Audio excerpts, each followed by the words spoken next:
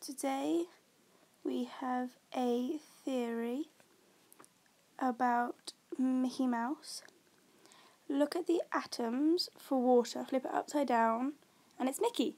So thank you for watching this funny animation video. This took a while. Like, subscribe, and derp.